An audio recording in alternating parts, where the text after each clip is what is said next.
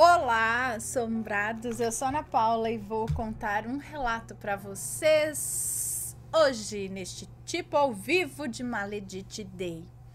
E aí, vocês estão bom? Espero que sim, que esteja tudo bem.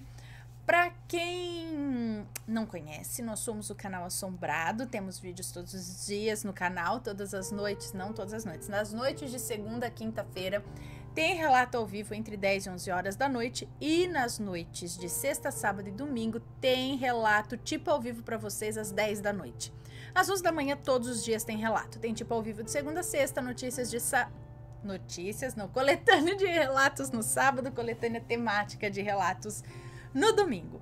E aí, meio dia e meia, horário do Matheus, mas que ele já vai, logo logo ele volta a colocar os vídeos dele aqui, tá bom? Um, não se esqueçam de fazer uma visitinha à nossa loja virtual, a lojaassombrada.com.br, sempre com novidades. Olha só, ainda não está disponível na loja, mas logo estará. Esta nova camiseta aqui que também brilha no escuro do gatinho na frente da lua, tá? Um, e e, e, e, e, então não deixe de visitar a loja e não se esqueça de deixar o like neste vídeo, tá bom? Vamos lá, vamos lá, vamos ler o relato então de Maledite, porque hoje é dia de Maledite. Uh, Maledite e o feitiço do sapo. Vamos ver, não é um relato longo, tá? Ele é medião. Os nomes estão todos trocados. Olá, Ana. Vou contar um relato triste de Maledite. Epa. Que aconteceu com a minha tia. Infelizmente, a maldade do ser humano vai longe, mas as consequências um dia vêm. Quando minha tia tinha uns 32 anos, depois de anos tentando, conseguiu engravidar da sua primeira filha. Na época, ela tinha uma grande amiga, a Maledite e ela estava pensando em chamá-la para ser madrinha. Mas ficou pensativa porque tinha uma outra amiga, a Marta, que ela gostava muito também. Então ela estava na dúvida ainda. Mas a Maledite meio que se convidou e brincava dizendo que a filhada ia nascer logo e ela ia ser uma super madrinha e tal. Minha tia ficava sem graça, sabe? Pois ela realmente estava na dúvida ainda, pois gostava tanto da Maledite quanto da Marta. E resolveu conversar com meu tio Carlos sobre quem seria a madrinha. Meu tio não gostava muito do marido da Maledite, pois ele bebia muito e tinha sido um pai ausente, e achava que isso ia influenciar no modo de como ele ia tratar a filhada também.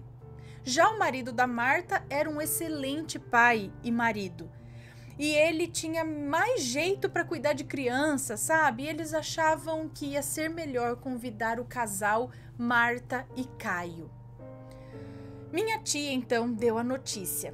E quando a Maledite ficou sabendo, fingiu que não tinha problema. Disse que a Marta e o Caio também eram ótimas pessoas, mas a minha tia reparou que ela não gostou. E depois disso, a Maledite parou de visitar minha tia e sempre inventava uma desculpa para não vê-la. No chá de bebê, a minha tia ganhou um tanto de coisas para neném e ia chamar Alice. Minha tia estava muito feliz. Minha tia estava muito feliz. A Maledite foi nesse dia levou um macacãozinho dos ursinhos carinhosos e tentou se enturmar com o pessoal, mas a minha tia reparou que ela estava sentida com isso, sabe?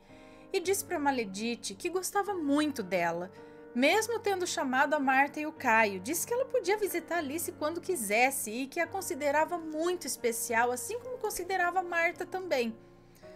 A Maledite disse que compreendia, que só estava cansada e que era para minha tia ficar tranquila, que não tinha problema nenhum. O chá de bebê foi na casa da minha tia e tinha muitas pessoas lá, então não dava para minha tia ver tudo o que acontecia, pois foi muito tumultuado. À noite, a minha tia sentiu fortes dores e teve que correr para o hospital. Ela perdeu a Alice naquela noite. Os médicos disseram que foi um aborto espontâneo. Minha tia e meu tio, lógico, sofreram muito. Tiveram que voltar para casa e olhar todas aquelas roupinhas e doar tudo que tinham ganhado. Minha tia ficou sem chão. Fazia muito tempo que ela tentava engravidar. E quando conseguiu, fez o acompanhamento certinho. Apesar de ter demorado, não era uma gravidez de risco. Ela estava saudável e a bebê também. Tinha tudo para dar certo, não tinha nada de errado com elas. Minha tia tinha arrumado o quartinho da Alice já. Tinha começado a comprar as coisas e montar tudo e resolveu desmontar tudo, pois aquilo a desestabilizava ainda mais. Na hora de doar o guarda-roupas, ela encontrou, debaixo do guarda-roupas, um sapo morto, com cabelos grudados no corpo, enrolado numa sacola com sangue. O sapo era enorme e na hora minha tia já tremeu inteira. A sua pressão caiu, ela gritou, meu, ela gritou para o meu tio e já tinham é, e já identificaram que aquilo era um feitiço. Desesperada, a tia foi atrás de ajuda. Uma amiga da família por muitos anos, que era benzedeira, a Maria. Ela levou o feitiço lá e a Maria disse que aquele sapo representava o órgão genital da minha tia. Que aquele sapo representava o órgão genital da minha tia e seu útero. A Maledite fez um feitiço para minha tia ter problemas e perder o bebê. A ira dessa maledite era tão grande que ela fez o feitiço no mesmo dia e levou no chá de bebê. Foi tão forte o ódio que ela tinha em não ter sido convidada para ser madrinha, tipo Malévola. Malévola ainda acho que tá melhor. É, ter sido convidada para ser madrinha que na mesma noite teve efeito. Minha tia queria matar a Maledite, ela ficou louca de raiva e a dona Maria disse para minha tia se aquietar pois o que era dela estava guardado, para apenas manter distância. A Maledite ainda procurou minha tia depois disso, fingindo amizade e querendo ajudar. Minha tia perdeu a cabeça e deu uma surra nela. Maledi a Maledite disse que a minha tia era louca e sumiu.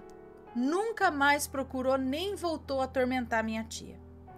Minha tia ficou muito mal por muito tempo e três anos depois conseguiu engravidar de um menino, do meu primo, Pedro. A Maledite sofreu um acidente de caminhão com seu marido. Ele faleceu e ela ficou na cadeira de rodas, sendo cuidada por suas filhas que a maltrataram muito. Por fim, ela está num asilo hoje.